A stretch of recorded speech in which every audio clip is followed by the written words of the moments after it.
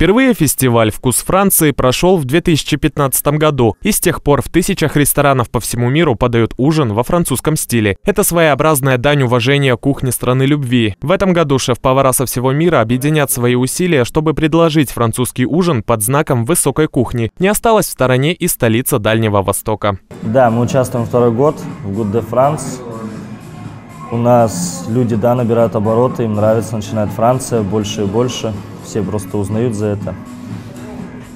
Но так посетителям нравится Франция.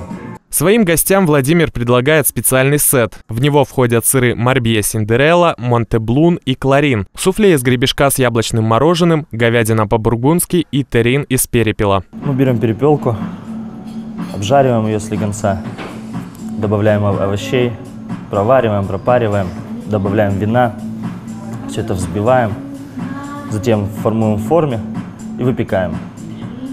После чего даем постоять и в течение двух-трех часов приобретает насыщенный вкус и аромат. При готовке блюд шеф-повар придерживается французских рецептов, однако добавляет и свои авторские изменения. Например, в суфле есть частичка приморья. Классическое приготовление суфле.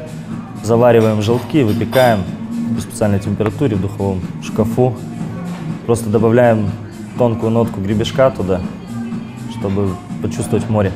Вино и сыр – два элемента, без которых не обходится вся французская кухня. Французы уверены, нет лучшего аккомпанемента к кухне страны любви, чем хорошее вино. Да и сам напиток – прекрасный ингредиент очень многих изысканных блюд. Вино придает такую нотку, сливочное масло тоже свою особенность. И говядина приобретает такой сливочный вкус. И овощи свою пикантность. Также к сету сомелье подбирает бокал французского вина. И несмотря на то, что фестиваль длится всего 4 дня, организаторы отмечают, что даже за короткий срок жители Владивостока в полной мере смогут ощутить вкус высокой французской кухни. Дмитрий Беломестнов, Станислав Лазебный. Новости на восьмом.